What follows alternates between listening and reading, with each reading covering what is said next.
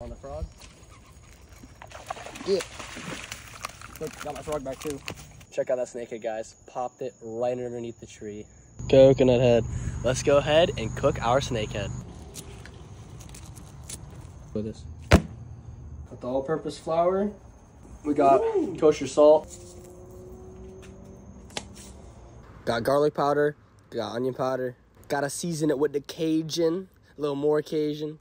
Whatever this doink is. Here is our flour. You're gonna wanna take the snakehead, roll it up all in that flour, and we're gonna do this to every single last one. We're gonna take our snakehead, we're gonna load it into the deep fryer, and then fry these bad boys up. Woo!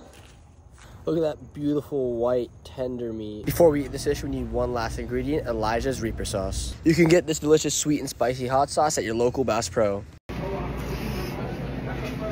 That's good. Wow.